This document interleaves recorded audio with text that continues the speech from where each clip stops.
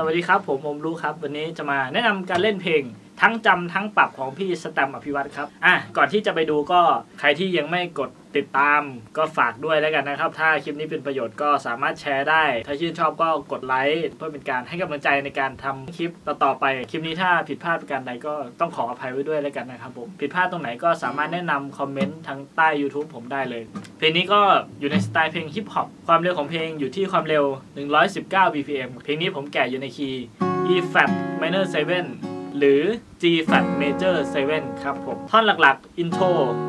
ท่อน intro นี้ก็ยังเล่นซ้ำในหลาย ๆ ท่อนในเพลง ท่อน intro จะเล่นประกอบด้วย 4 คอร์ดหลัก ๆ ครับผม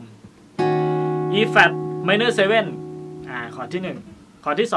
2 B major 7 คอร์ดที่ 3 B flat minor 7 flat 13 คอร์ดสุดท้ายคอร์ดที่ 4 ก็คือคอร์ด A flat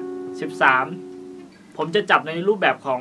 full chord ก็คือเต็มเต็มคอร์ดจริงๆเราอาจไม่ได้เล่นเต็มคอร์ดทุกเมโลดี้ทุกโน้ต แต่ว่าผมจะจับแบบนี้เพื่อให้รู้ว่า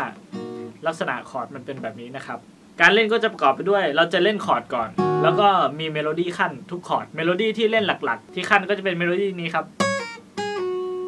อ่า คอร์ดแรกก็จะเป็นคอร์ด E flat minor 7ครับผม